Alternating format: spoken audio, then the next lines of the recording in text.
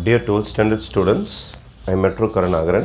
In example 9.6, you have to evaluate this integral. இந்த இன்டகிரலில் டினாமினேட்டரை நியூமினேட்டரில் ரெண்டு terms இருக்குல்ல ரெண்டு பேருக்கும் டைரெக்டாக பிரித்து கொடுக்குறேன் நான் அப்போ two x by five x square plus nine plus seven by five x square plus nine dx அப்படின்னு சொல்லிட்டு இந்த ரெண்டு பேருக்கும் தனித்தனியாக பிரித்து கொடுத்துடலாம். இன்டகிரேஷன் வேணாலும் ரெண்டாக பிரிச்சுக்கலாம் நீங்கள் இதை ஒரு இன்டகிரேஷனாக பிரிச்சுக்கலாம் இது ஒரு இன்டகிரேஷனாக பிரிச்சிங்கன்னா டிஎக்ஸ் ரெண்டுத்துக்கும் தனித்தனியாக கொடுத்துடணும். ரெண்டு தனித்தனி சம்மாக போட்டிருக்கிறேன். நெக்ஸ்ட் ஸ்டேஜ் என்ன பண்ண போகிறேன்னா நான் இந்த டினாமினேட்டரை டிஃப்ரென்ஷியேட் பண்ணால் நியூமரேட்டர் வருதான்னு செக் பண்ண போகிறேன் டினாமினேட்டரை டிஃப்ரென்ஷியேட் பண்ணி நியூமரேட்டர் வந்துருச்சுன்னா டினாமினேட்டரை டிஃப்ரென்ஷியேட் பண்ணி நியூமரேட்டர் வந்ததுன்னா லாகிருதம் ஃபார்முலா யூஸ் பண்ணிக்கலாம். இங்கே ரஃபில் போட்டு காட்டுறேன் பாருங்கள் நான். Five x square plus nine இதை டிஃப்ரென்ஷியேட் பண்ணிங்கன்னா இதை டிஃப்ரென்ஷியேட் பண்ணிங்கன்னா டூ முன்னாடி வரும்.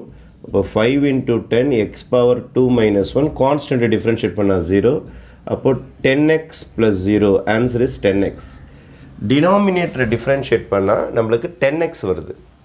ஆனால் நம்மக்கிட்ட இங்கே டூ எக்ஸ் தான் இருக்குது. அப்போ நான் என்ன செய்ய போகிறேன்னா multiply and divide by five இங்கே ஒரு எக்ஸ்ட்ரா ஒர்க் ஒன்று பண்ண போகிறேன் multiply and divide by five two x by five x square plus nine into dx இதான் ஃபஸ்ட்டு ஒர்க் முடிச்சிருக்கிறேன் அடுத்தது இந்த சம்முக்கு வரேன் இந்த சம்மில் வந்து என்ன செய்ய போகிறேன்னா இங்கேருந்து ஒரு ஃபைவ் டேபிள்ஸை வெளியில் எடுத்துகிட்டு போகிறேன் எக்ஸ் ஸ்கொயரை க்ளீனாக வச்சுக்க போகிறேன் இங்கே டிஃப்ரென்சியேஷன் டெக்னிக் யூஸ் ஆகாது. ஏன்னா இங்கேயாவது எக்ஸ் ஸ்கொயர் டிஃப்ரென்ஷியேட் பண்ணால் மேலே எக்ஸ் வந்தது அதனால் அது யூஸ் ஆகுது. டினாமினேட்டர் டிஃப்ரென்ஷியேட் பண்ணால் நியூமரேட்டர் கிடைக்கிறதுக்கான டெக்னிக் இங்கே யூஸ் ஆகும். ஆனால் இங்கே டினாமினேட்டர் டிஃப்ரென்ஷியேட் பண்ண மேலே எக்ஸ் இல்லை. அதனால் வேறு டெக்னிக் யூஸ் பண்ண போகிறேன் ஃபைவை மட்டும் வெளியில் எடுத்துட்டேன். அப்போது மேலே இருந்த செவனையும் வெளியில் எடுத்துருங்க. மேலே இருந்த செவன் கீழே இருந்த ஃபைவ் மேலே இந்த செவன் போனதுனால எந்த பிரச்சனையும் கிடையாது. மேலே ஒன்று தான் இருக்கும். ஆனால் கீழே ஃபைவ் போனதுனால இவனுக்கு எந்த பிரச்சனையும் கிடையாது. ஆனால் நைனுக்கு பிரச்சனை இருக்குது. நைன் பை ஃபைவ் ஆகிடும் நீங்கள் வேணால் மல்டிப்ளை பண்ணி பாருங்களேன். Five into x square five x square five வந்தால் இருக்குன்ட்டு கேன்சல் ஆகிடும் நைனே வந்துடும் இப்போ மேலே இருக்கிற செவன் எடுத்துருங்க. கீழே இருக்கிற ஃபைவை காமனாக வெளியில் எடுத்தீங்கன்னா எக்ஸ் ஸ்கொயருக்கு எந்த பாதிப்பும் கிடையாது. ஆனால் இங்கே காமன் இல்லை ஃபைவ் டேபிள்ஸ் அதனால் நைன் பை ஃபைவ் ஆகிடும் நீங்கள் வேணும்னா ஒரு வாட்டி மல்டிப்ளை பண்ணி பார்த்துங்க. Five into x square five x square five இங்கே வந்தால் ஃபைவ் ஃபைவ் கேன்சல் ஆகிடும் பக்காவாக நைன் தான் வரும். ரெண்டாவது ஸ்டேஜ் முடிஞ்சிருக்கு.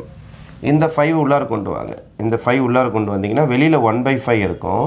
ஃபைவ் டூ ஜார் டென் எக்ஸ் ஆகிடும் five x square plus nine dx இந்த சம் பாருங்கள் seven by five integration of one by x square nine can be written as three root five can be written as root five whole square நீங்கள் square பண்ணி பாருங்கள் த்ரீயை square பண்ணால் nine root ஃபைவை square பண்ணால் five தான் வரும். அப்போ இந்த ஸ்டைலுக்கு இந்த சம்மை மாற்றியாச்சு இப்போ கிட்டத்தட்ட எல்லா சம்மும் இன்டகிரேஷனுக்கு ரெடி ஆகிடுச்சு எப்படி சார் இன்டகிரேஷனுக்கு ரெடி ஆகிடுச்சு இங்கே என்ன கான்செப்ட் யூஸ் பண்ண போகிறேன்றதை சொல்கிறேன் நான். டினாமினேட்டரை டினாமினேட்டரை டிஃப்ரென்ஷியேட் பண்ணால் நியூமரேட்டர் வருகிறது. ஆகவே லாகிருதம் ஃபார்முலா யூஸ் பண்ண போகிறேன் லாகிருதம் ஆஃப் டினாமினேட்டர் இவனை டிஃப்ரென்ஷியேட் பண்ணால் இவன் வருவான். இதை போட்டிருக்கேன் பாருங்கள் ஃபைவ் எக்ஸ் ஸ்கொயர் ப்ளஸ் நைனை டிஃப்ரென்ஷியேட் பண்ணால் டென் எக்ஸ் வரும்.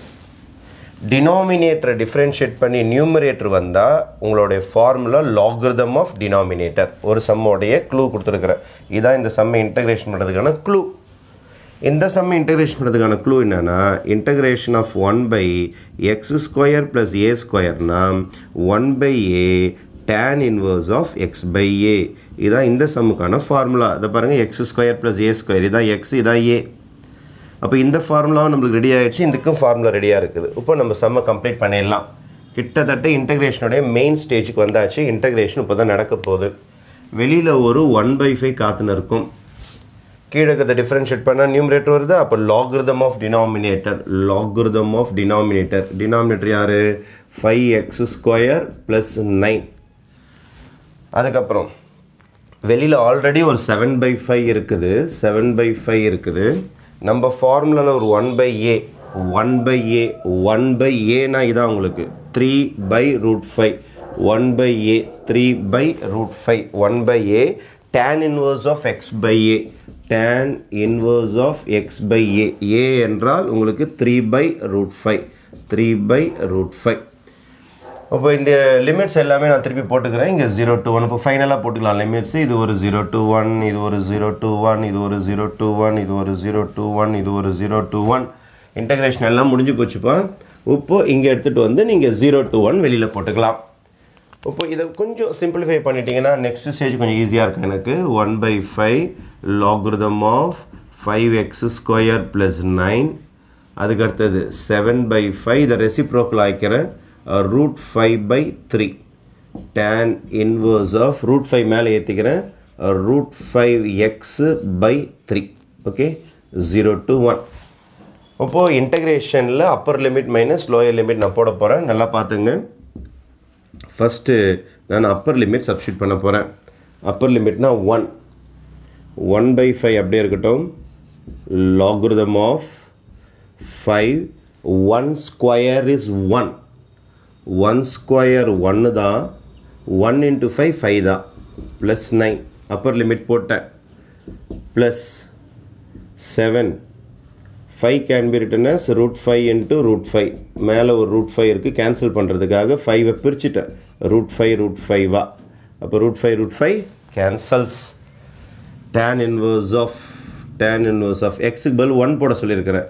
அப்போ வெறும் ரூட் ஃபைவ் தான் வரும் பை த்ரீ அப்பர் லிமிட் ஃபுல்லாக போட்டு முடிச்சாச்சு. இப்போ லோயர் லிமிட்டுக்கு வாங்க.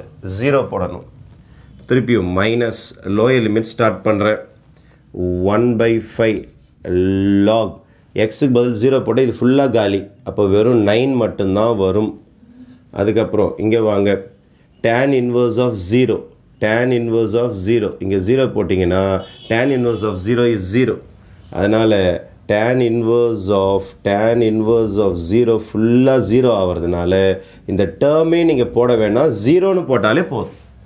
இதுதான் upper limit minus lower limit அப்போ ஒன் சப்ஸ்டியூட் பண்ணும்போது எந்த பாதிப்பும் ஏற்படாது. எக்ஸுக்கிற இடத்துலாம் ஒன் போட்டு வந்துடுங்க லோயர் லிமிட் போடுறப்போ இங்கே ஒரு டேர்மே காலி ஆகிடும் அதனால் நைன் மட்டும் வரும். இங்கே tan inverse of five into zero by three zero ஆகிடும் டேன் இன்வர்ஸ் ஆஃப் ஜீரோ ஜீரோனால் zero into anything zero ஆகிடும் அதனால் எதுவுமே அது போட வேண்டாம். Next stage one by five logarithm of இதை கூட்டினீங்கன்னா பதினாலு மைனஸ் இவனையும் கூட்டின்னு வந்துடுங்க minus one by five logarithm of nine லாகிருதம்லாம் ஒரு கோஷ்டியாக வச்சுங்க. அதுக்கப்புறம் இதெல்லாம் கேன்சல் பண்ண பிறகு உங்களுக்கு என்ன இருக்குன்னா seven by three root five அப்படின்னு ஒரு ஆன்சர் வந்திருக்கும். அப்புறம் இந்த இடத்துல என்ன வந்திருக்குன்னா tan inverse of root five by three அப்படின்னு ஒரு ஆன்சர் வந்திருக்கும். இங்கே ஒன் பை ஃபைவ் காமன் தான்? நான் வெளியில் எடுத்துருங்க. எடுத்துட்டிங்கன்னா logarithm of fourteen minus logarithm of nine வந்துடும் இந்த இடம் அப்படியே தான் இருக்கும். Seven by three root five இதுக்கப்புறம் இது சிம்பிளிஃபை பண்ண முடியாது.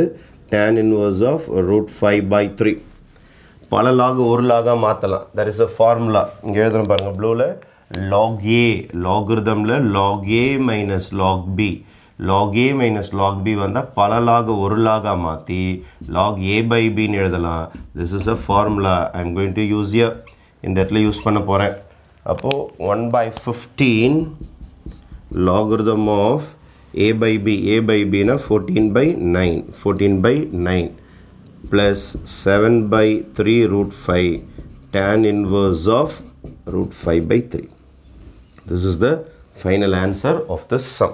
இந்த சம்மில் லாகிருதம் என்ற ஒரு இன்டகிரேஷன் ஃபார்முலா யூஸ் ஆகிருக்குது tan inverse of x by ஏன்ற ஒரு ஃபார்முலா யூஸ் ஆகிருக்குது இந்த ரெண்டு ஃபார்முலாவை ஐடென்டிஃபை பண்ணிட்டீங்கன்னா this sum is very easy thank you